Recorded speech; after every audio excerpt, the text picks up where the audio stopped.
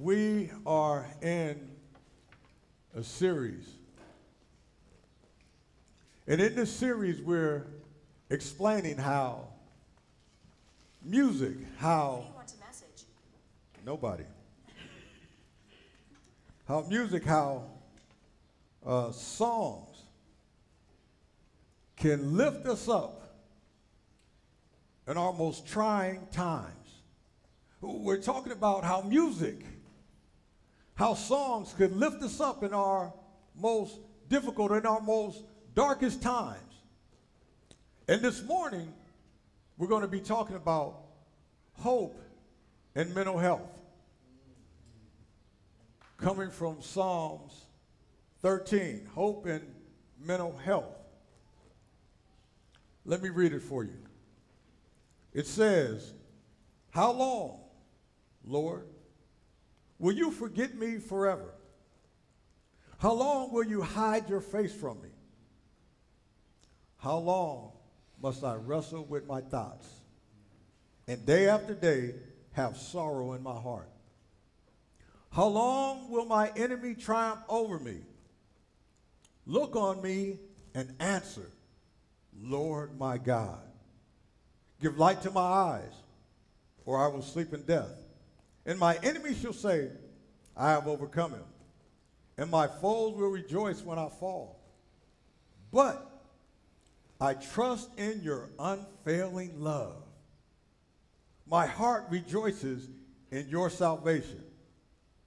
I will sing the Lord's praise, for he has been good to me.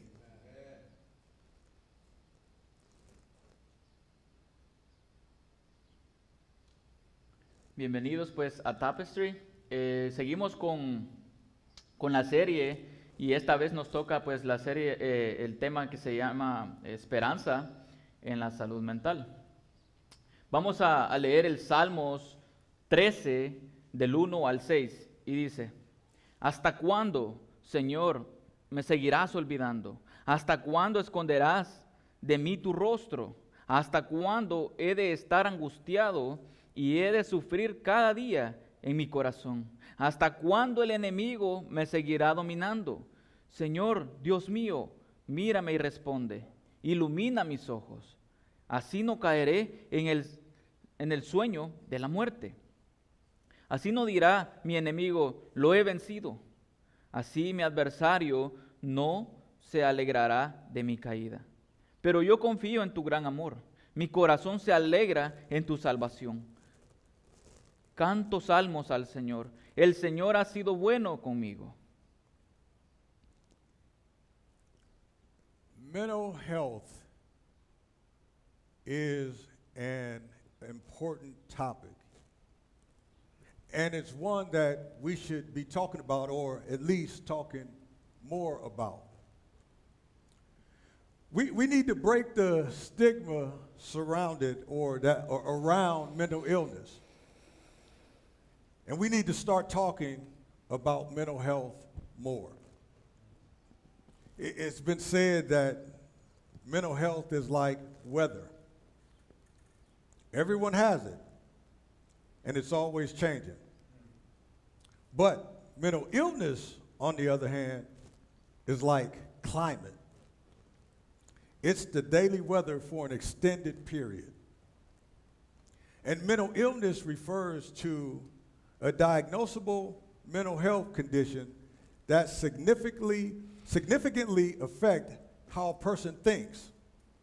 It significantly affects how a person feels, and it significantly affects how a person behaves. Mental health struggles are very real, and they often can be difficult to deal with without help. Mental health is so hard to talk about, and it's even harder to live with. And the top three reasons that people don't seek help with their mental illness is number one, mental illness is seen as a person failing or weakness. Number two, mental illness is viewed as shameful or embarrassing. And number three, people don't think they'll be taken seriously if they would actually go and seek help. But in the midst of our mental struggles, there's hope. Mental illness doesn't have to be a life sentence. There is hope for healing and there is hope for wholeness. And the key to finding help and support, uh, the, the key is finding help and support. If you know, if you or someone you know is struggling with mental health, seek counsel, seek counseling. Mental health is nothing to be ashamed of. Let me make that clear. It's nothing to be ashamed of. And mental illness is more common than you think. And with the right help, people can and people do recover. And if you're a Christian and you're struggling with mental health, you need to know that you are not alone. God is with you. And there is hope in Jesus. And today's psalm is dealing with some of the struggles of mental health. And we get the pleasure of listening in on a song that David sing to God, telling God all about his thoughts. La salud mental es un tema importante y del que todos deberíamos estar hablando.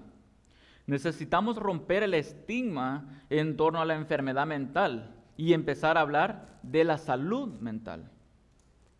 Se ha dicho que la salud mental es como el clima. Todo el mundo lo tiene. Siempre está cambiando. La enfermedad mental, por otro lado, es como el clima también. Es un clima diario durante un periodo prolongado. La enfermedad mental se refiere a condiciones de salud mental diagnosticables eh, que, afectan el, que afectan significativamente la forma en que las personas piensan, sienten y se comportan. Los problemas de la salud mental son muy reales y a menudo pueden ser difíciles de manejar sin ayuda. Es muy difícil hablar de la salud mental y aún más difícil vivir con ella. Las tres razones principales por las que las personas no buscan ayuda con una enfermedad mental son las siguientes. Número uno, la enfermedad mental es vista como una falla o debilidad, eh, o debilidad personal. Número dos, la enfermedad mental se considera vergonzosa. Y número tres, las personas no creen que serán tomadas en serio si buscan alguna ayuda. Pero en medio de las luchas por la salud mental hay esperanza. La enfermedad mental no tiene que ser una cadena perpetua. Hay esperanza de curación y plenitud. La clave es encontrar ayuda y apoyo. Si usted o alguien que conoce tiene problemas de salud mental, busque asesoramiento. La salud mental no es nada ¿De qué avergonzarse? La enfermedad mental es más común de lo que tú crees. Y con ayuda adecuada las personas pueden recuperarse y lo hacen. Si, si eres un cristiano que lucha con la salud mental, debes saber que no estás solo. Dios está contigo. Y hay esperanza en Jesús. El salmo de hoy trata sobre algunas de las luchas de la salud mental. Y tenemos el placer de escuchar una canción de David que David le canta a Dios, contándole a Dios todos sus pensamientos. David, he brought his emotions, he brought his very thoughts to God. You see, David was honest with God about the way that he was feeling. He, he didn't try to hide anything from God. And we see that it's okay to bring our mental health struggles to God. We don't have to pretend like everything is okay when it's not. We can be real with God and, we can tell God how we really feel. You see, David, he, he knew three things. Number one, he knew that God knew him. He said, You have searched me, Lord, and you know me. You know when I sit and when I rise, you perceive my thoughts from afar. Number two, David knew that God cared about him. In, Psalms 3, he says, But you, Lord, are a shield around me, my glory, the one who lifts my head high. And, and three, David knew that he could bring his thoughts to God for understanding. He says here in Psalm 13, How long will you forget me forever? How long will you hide your face from me? How long must I wrestle with my thoughts day after day and have sorrow in my heart? How long will my enemy triumph over me? You see, David was honest to God about his mental health struggles, and he brings them to God for help. David asked the question in Psalms, how long? In Psalms 13, he asked the question, how long? Four times. The fact that he asked this question four times suggests the urgency and emotional intensity of his situation. It's like he's begging for God, he's begging God for an answer. And I think that's okay. Because I believe it's okay to beg God for an answer when we're struggling with something. And let me ask you this when was the last time that you beg God for help when you are struggling with something? It's okay to be honest with God. It's okay to let God know how you're really feeling. David compró sus emociones sus propios pensamientos a Dios, compartió sus propios pensamientos con Dios. Era honesto con Dios acerca de lo que estaba sintiendo. Él no trató de esconderle nada a Dios. Y vemos que está bien traer nuestras luchas de salud mental a Dios.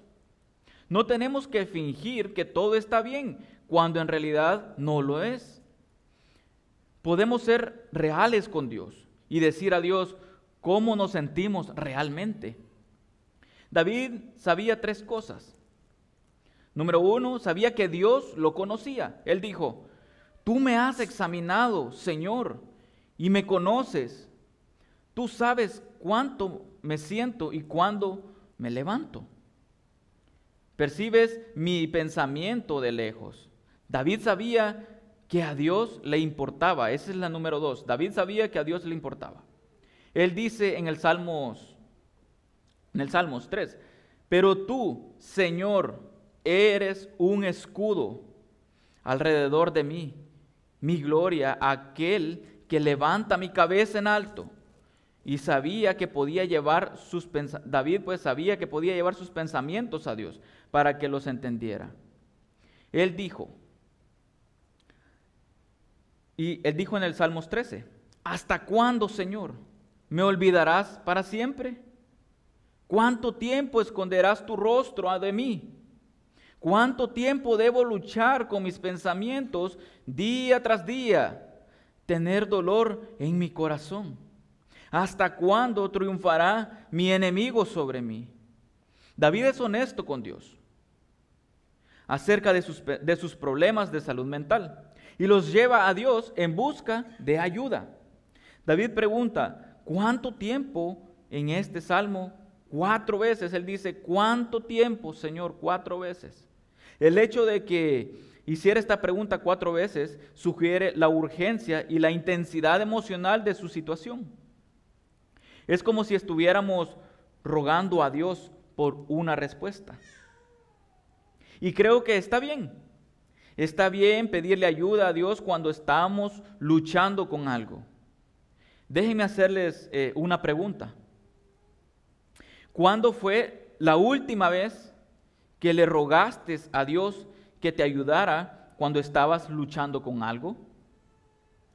Está bien, está bien ser honesto con Dios acerca de cómo nos sentimos nosotros realmente. See, David was struggling with mental health issues and he felt like God had forgotten about him. And he wondered how long would he have to suffer. In life's most trying times, when even family and friends desert you, we can rely on God to hear our cries. When mental health struggles have us down and we feel like we can't go on, God says, I will never leave you nor forsake you. Like David, when our situations have us doubting ourselves and we feel like giving up, hold on.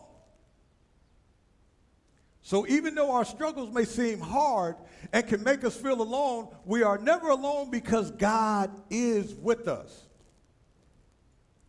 David, he was desperate for God to answer him. He was desperate for God to answer him. He had been dealing with all these issues and he felt like God had forgotten about him. And David was asking God to help him see the light at the end of the tunnel. He wanted to see the hope that was available to him. He wanted to be able to see the good in his situation and the hope for the future. David is saying that he will sleep in death because he doesn't see any other hope. He's feeling hopeless and he doesn't see a way out of his struggles and his troubles. And David was writing this psalm uh, after being persecuted by his enemies. He was being hunted down like an animal, and he felt like he was losing the battle.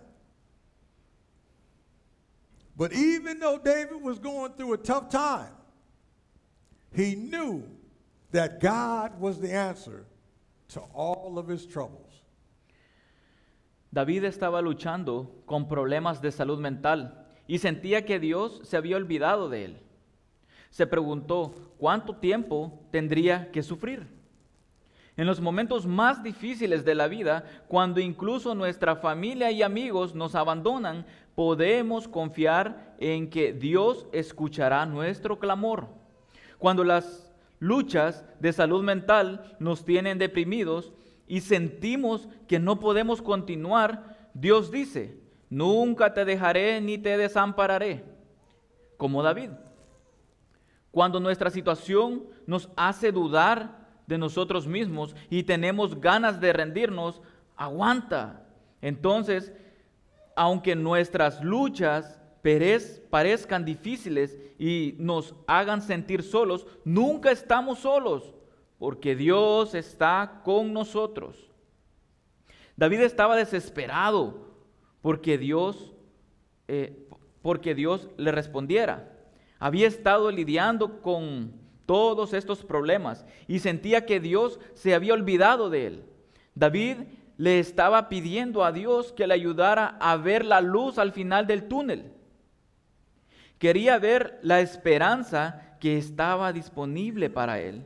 Quería poder ver lo bueno de su situación y tener esperanza para el futuro. David está diciendo que dormirá en la muerte porque no ve ninguna otra esperanza. Se siente desesperado y no ve una salida a sus problemas y luchas. David está escribiendo este salmo después de ser perseguido por sus enemigos. Estaba siendo perseguido como un animal y sentía que estaba perdi- perdiendo la batalla.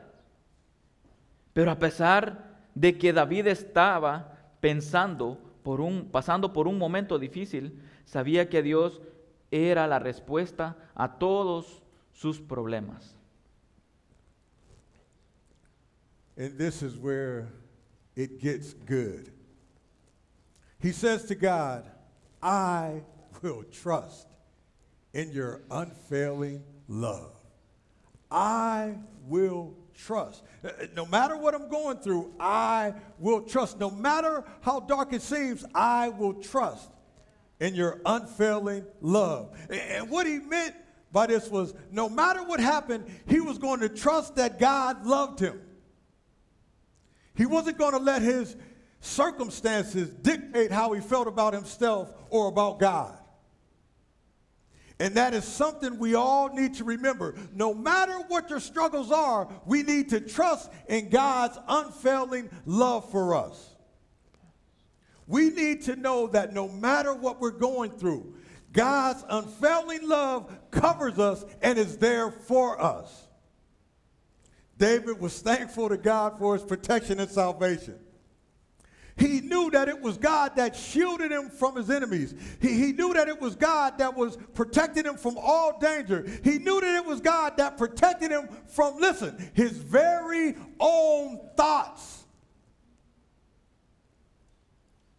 He knew that it was God that would literally save him from himself. And we need to know that too. We need to know that no matter what we're going through, no matter what things look like, no matter what the problem is, God is there for us and God will save us from ourselves. All we have to do is trust the process. The process is the healing, but God is the healer. I like that. Él dice a Dios, confiaré en tu amor inagotable. Lo que quería decir con esto era que sin importar lo que pasara, iba a confiar que Dios lo amaba. No iba a dejar que sus circunstancias dictaran cómo se sentía acerca de sí mismo o de Dios. Y eso es algo que todos debemos recordar. No importa cuál sea nuestra lucha, debemos confiar en el amor inagotable de Dios por nosotros. Necesitamos saber que no importa por lo que estemos pasando, el amor inagotable de Dios nos cubre y está ahí para ayudarnos. David estaba agradecido por la protección y salvación de Dios. Sabía que era Dios quien lo protegía de sus enemigos. Sabía que era Dios quien lo protegería de todo peligro. Sabía que era Dios quien lo protegía de sus propios pensamientos. Sabía que era Dios quien literalmente lo salvaría de sí mismo. Y entonces necesitamos saber esto también. Necesitamos saber que no importa por lo que estemos pasando. No importa cómo se vean las cosas, no importa cuál sea el problema. Dios está ahí para nosotros y para salvarnos. Todo lo que tenemos que hacer es confiar en Dios y en el proceso de Dios. El proceso es la curación, pero Dios es el sanador. David says, I will sing the Lord's praise, for he has been good to me. Watch this. Even though David is struggling, he still will sing praises to the Lord because the Lord has been good to him. He, he knows that no matter what he's going through, the fact remains that God is good. And so we need to remember that too. When we're going through, it's hard for us to remember God's goodness. But remember, remember that even when things are tough, remember when we feel like giving up, remember when it looks like that we can't do anything about our situation, God is good and He will see us through our struggles. Yes. The mental health struggle is real but so is the hope we have in Jesus. And with Jesus, we can overcome anything. So if you're struggling today, know that you're not alone and that there is everlasting hope for you in Jesus. David dice que cantaremos alabanzas al Señor, porque ha sido bueno con, con, conmigo. Mire esto a pesar de que David está luchando. Todavía cantará alabanzas al Señor, porque el Señor ha sido bueno con él. Él sabe que no importa por lo que estés pasando, el hecho es que Dios es bueno. Y por eso también tenemos que recordar eso.